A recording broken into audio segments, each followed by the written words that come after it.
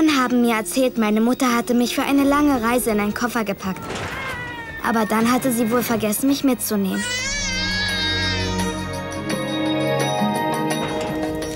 Eines Tages wurde ich von meiner Schwester im Kloster abgeholt und zu meinem Vater gebracht.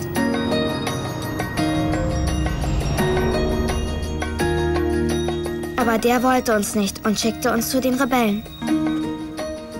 Wenn wir Eritrea befreit haben, werden wir ein sozialistisches Land aufbauen. Was bedeutet Sozialistik?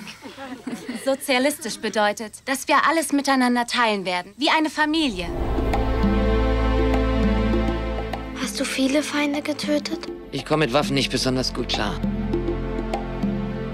Wir kriegen nichts zu essen. Finger weg! Masa hat gesagt, dass wir alles teilen.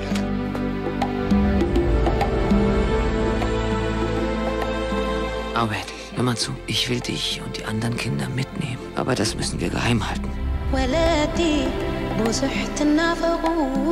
Zu Zeiten Christi haben so die Herren ihre Sklaven geschlagen, weil der Mensch mit diesem Schlag gedemütigt wurde.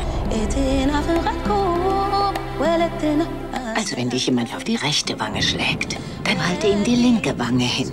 Du zeigst ihm damit deine Würde.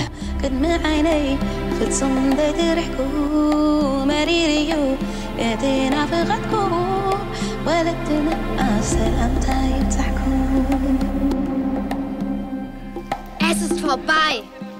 Nichts ist vorbei!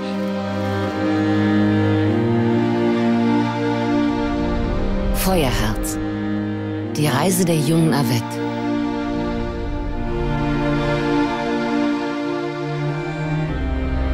Demnächst im Kino.